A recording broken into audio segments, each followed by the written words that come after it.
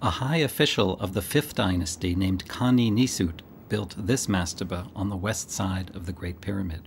It looks complex, but the large structure originally belonged to Kaninisut, and his son, Kaninisut II, built the small mastaba on the front or east side in the middle, and grandchildren built the appendage off to the right on the north side. An exterior mud brick chamber once protected the entrance to the chapel, and this is where we are going now. The German Austrian expedition worked in this part of the necropolis in 1912, and they discovered the Mastaba Chapel. The director was Hermann Junker, professor at Vienna, and he received permission to take the entire chapel back to the Kunsthistorisches Museum in Vienna with him, where it is now reconstructed and on exhibition. Inside, all four walls have received carved and painted decoration.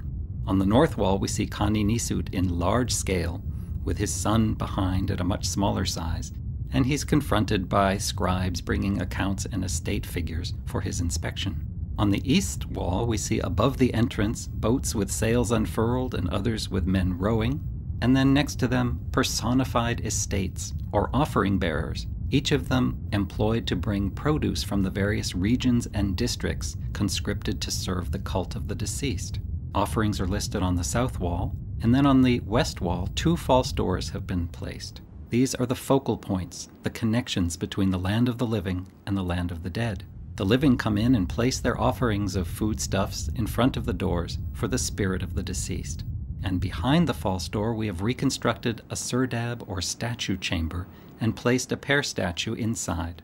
One was not actually found in the Mastaba Chapel of Kaninisut, but we have put one here to show the original proportions. In side view or section view, you can see the relationship of the chapel, where the living would come to place their offerings, and the statue chamber or serdab behind it.